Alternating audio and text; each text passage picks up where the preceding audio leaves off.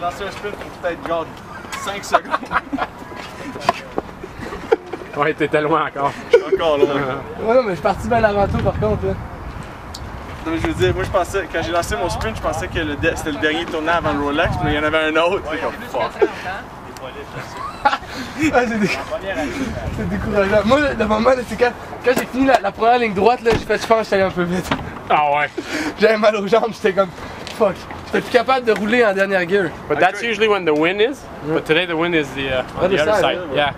But it kills you if you go into the pits with the wind. Ok, parce que moi, quand, quand on était de même dans cette direction-là, là, en revenant, là, fuck, je trouvais ça dur, le vent Yeah. était en face, man. All right. All right, let's go. We'll warm up a bit.